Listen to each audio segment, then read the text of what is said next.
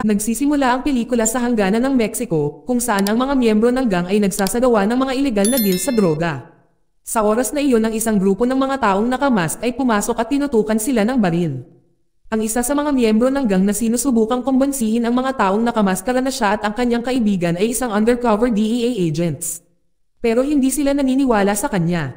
Ang nakamaskara na grupo ay tinapos ang bawat isa sa kanila at iniwang buhay ang dalawang babae na nakakita sa pangyayari ay sinubukang tumakas. Ang mga nakamaskara na grupo ay hinabol sila, ngunit nakarinig sila ng sirena ng mga pulis at nagpasya silang umalis. Samantala sa Amerika kung saan ang isang matandang detective na nagngangalang Johansson ay naghahanda para sa trabaho. Habang nanonood ng balita tungkol sa isang protesta sa istasyon ng pulisya. Nag si Johansson ay dumating sa istasyon ng pulis, kinausap siya ni Chief Hernandez na nagpakita sa kanya ng video ng pag-atake ni Johansson sa Mexican driver. Ang karahasan na ito ay nakikita bilang kawalang galang. Si Johansson ay gumawa din ng mapanlait na komento tungkol sa mga Meksikano na nagdaragdag sa kanyang mga problema. Dahil sa kanyang mga aksyon si Johansson ay nasa panganib na mawala ang kanyang trabaho at pensyon. At siya ay maaaring harapin ang mga legal na kahihinatnan upang bawiin ang kanyang reputasyon.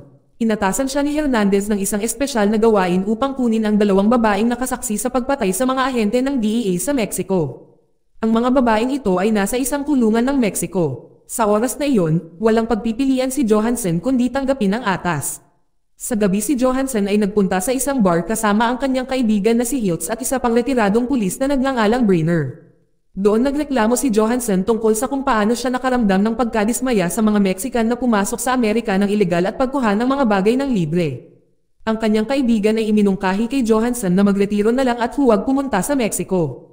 Sa kabila ng kanilang payo na pinili pa rin ni Johansson na umalis. Habang papalabas siya ng bar isang Mexican na lalaki ang aksidenteng nabangga sa kotse ni Johansson na ikinagalit niya.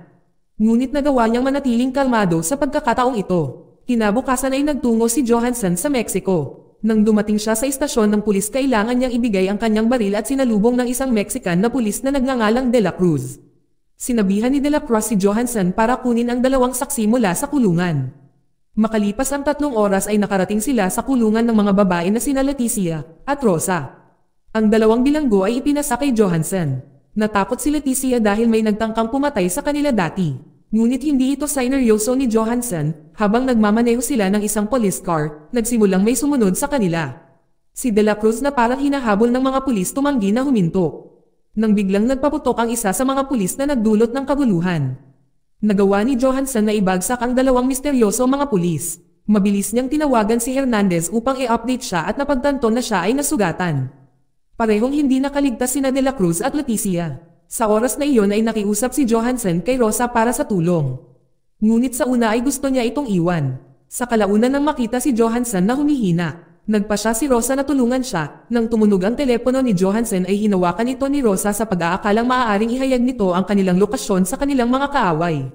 Sa gitna ng kaguluhan, nawalan ng malay si Johansson. Kinabukasan nagising siya sa paggamot habang ang kanyang mga kamay ay nakakaf sa kama. Maya-maya ay pumasok si Rosa kasama ang kanyang kuya na si Miguel na isa ring Mexican na pulis. Ipinaliwanag niya na ang dalawang pulis na umatake sa kanila ay totoong pulis. Ngunit sa Mexico ay hindi ipinapakita ang kanilang mga badge. Habang si Brenner ay nakipagtagpo sa himpilan ng pulisya matapos marinig ang tungkol sa pamamaril kay Johansson ng Mexican na pulis at tumakas kasama ang isang saksi. Sa ibang pagkakataon sa silid ni Hernandez ay ipinahayag ni Brenner ang kanyang hangarin na tumulong sa paghahanap kay Johansson kahit na siya ay nagretiro na. Dahil si Brenner ay kaibigan ni Johansson magalang na tinanggihan ni Hernandez ang kanyang alok. Sa Mexico sinabi ni Rosa kay Johansson na ang taong pumatay sa miyembro ng DEA ay isang Amerikanong pulis. Narinig niya ang isa sa mga lalaking nakamaskara na sinasabing nakikipagtulungan siya sa ahente ng DEA. Ipinaliwanag kung bakit nakilala ng ahente ang isa sa mga nakamaskara na lalaki. Nang marinig ito si Johansson ay humiling na tumawag dahil si Rosa at ang kanyang pamilya ay maaaring nasa panganib kapag mas matagal silang maghintay. Nangako si Johansson ng proteksyon kay Rosa kung siya ay makibahagi ng kanyang nalaman. Pagkatapos ibigay sa kanya ni Rosa ang kanyang telepono at agad siyang nakipag-ugnayan kay Hernandez para humingi ng tulong. Nagulat si Hernandez nang marinig ang tungkol sa pamamaril ng ahente ng DEA at pumayag siya na makipagkita kina Johansson at Rosa sa American Consulate. Sa kanilang pakikipag-uusap si Miguel ay nagpasalamat kay Johansson sa pagligtas kay Rosa mula sa dalawang tiwaling pulis na inupahan ng cartel para patayin sila. Ngunit nagalit si Johansson nang aminin ni Miguel na kailangan niya siyang bantayan para sa kanilang kaligtasan. Dahil si Johansson ay inakusahan ng pagpatay sa isang federal na pulis at dalawang Mexican na pulis. Sa kabila ng paliwanag ni Johansson na nandoon lang siya para masigurado ang kaligtasan ni Rosa. Kinailangan ni Miguel na tawagan ang kanyang kapatid na si Salvador para pusasan muli si Johansson. Pagkatapos kumain ay nakiusap si Rosa kay Miguel na pupunta siya sa Amerika kasama si Johansson. Ngunit tumanggi si Miguel nang biglang narinig nilang tumahol ang kanilang aso at nakita ni Miguel ang mga armadong lalaki na nakapalibot sa kanilang bahay. Sinabi ni Miguel kay Rosa na dalhin ang kanilang ina sa ligtas na paraan habang sila ni Salvador ay haharap sa mga umaatake. Sa kaguluhan ibinigay ni Miguel kay Salvador ang posas na susi upang palayain si Johansen. Malungkot na binaril si Salvador pagkapasok niya sa silid. Gamit ang isang kamay, nagawa ni Johansen na pabagsakin ang kalaban ni Salvador. Maya-maya matapos magmadali si Johansen na i-unlock ang posas at nagawang iligtas ang nasugatan na si Miguel. Sa oras na iyon ay mabilis din itong kumilos para pigilan ang isang lalaki sa pananakit kay Rosa at sa kanyang ina. Sa kasamaang palad ay hindi niya nahuli ang isang lalaki na tumatakas. Pagkatapos ng pag-atake ay pumayag si Miguel na paalisan si Johansson kasama si Rosa. Binigyan siya ng ina ni Rosa ng maraming pera para sa kanilang paglalakbay. At bago sila umalis ay binigyan niya si Johansson ng isang kwintas na nagsasabi sa kanya sa Espanyol na lumaban tulad ng isang lobo kung nais niyang talunin ang isang lobo. Sa kanilang paglalakbay ay binalak ni Johansson na tawagan muli si Hernandez, ngunit galit na pinaalalahanan siya ni Rosa na sa tuwing gagawin niya iyon may nagtatangkang pumatay sa kanila. Iminungkahi niya na makipag-ugnayan sa isang pinagkakatiwalaang tao upang kunin sila sa hangganan. Natagpuan ni Rosa ang isang taong magpupuslit sa kanila sa hangganan sa susunod na gabi at binayaran siya gamit ang pera mula sa kanyang ina. Nang gabing iyon ay tumuloy sina Johansson at Rosa sa isang hotel kung saan nakipag-ugnayan si Johansson sa kanyang nag-iisang pinagkakatiwalaang kaibigan na si Brainer. Kinaumagahan nagulat na lamang sina Johansson at Rosa na may kumatok sa kanilang pinto. Ito ay si Hiltz, dumating siya kasama si Brainer at isa pang kaibigan. Binalaan sila na ang pulis at FBI ay nagbabalak na pumunta sa araw na iyon at iminungkahi na sumama sila sa kanila sa halip na hintayin ang smuggler sa gabi. Dahil sila ay matalik na magkaibigan ay sumang-ayon si Johansson. Sa ilang sandali pagkaalis nila sa magkahiwalay na sasakyan kasama sina Johansson at Rosa na nakasakay kasama ang kanilang mga kaibigan.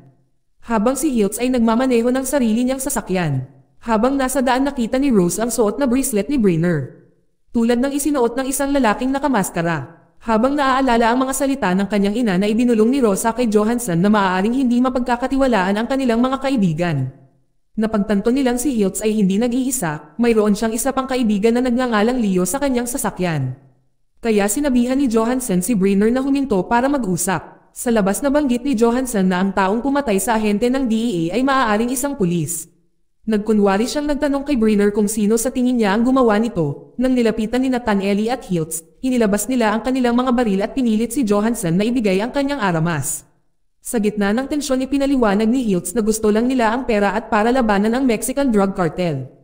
Hindi raw nila alam ang tungkol sa DEA noong gabing iyon. Sinubukan pa ni Hiltz na pigilan si Johansson na pumunta sa Mexico para maiwasan ang gulo. Pagkatapos ay inutusan ni Brenner si Tanelli na ilabas si Rosa. Ngunit hindi sumang-ayon si Hiltz sa pananakot sa sarili nilang mga kaibigan. Sinubukan niyang agawin ang baril, dahilan upang aksidenteng mabaril siya ni Brenner. Ito ay nagbigay ng pagkakataon kay Johansson na lumaban at nagawa niyang talunin si Nathan Ellie Brainer at Leo. Ilang sandali lang ay lumapit si Johansson kay Hiltz na nasaktan ng hustong ngunit sa kasamaang palad ay nawalan na siya ng buhay. Pagkatapos noon nagpa siya sina Johansson at Rose na bumalik sa lungsod at manatili sa kanilang plano kasama ang mga smuggler. Nang gabing iyon ay tumawid sila sa hangganan kasama ang ibang mga tao na naghahanap ng kanlungan.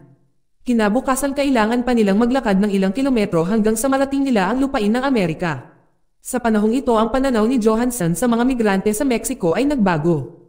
Napagtanto niyang handa silang magsapalaran ng marami upang pumunta sa Amerika para sa isang mas magandang buhay. Ngunit nang sila ay nasa sabik ay nagpakita ang mga Amerikanong pulis at inaresto sila. Makalipas ang isang buwan ay pinuri ni Hernandez si Johansson para sa kanyang hindi inaasahang tagumpay sa pamamagitan ng paglalantad sa mga tiwaling pulis at nilinis niya ang departamento ng pulisya. Kalaunan, mukhang matikas si Rosa. Sinabi kay Johansson na inalok siya ng paiskal ng American citizenship. Habang si Johansson ay masaya para sa kanya. Alam din niyang matatapos ang kanilang oras na magkasama. Sa huli, napagtanto ni Johansson na maaaring ito na ang kanilang huling pagkakataon. Nagtanong siya kay Rosa na lumabas para sa isang date. At dito nagtatapos ang pelikula. Salamat sa panonood kaibigan.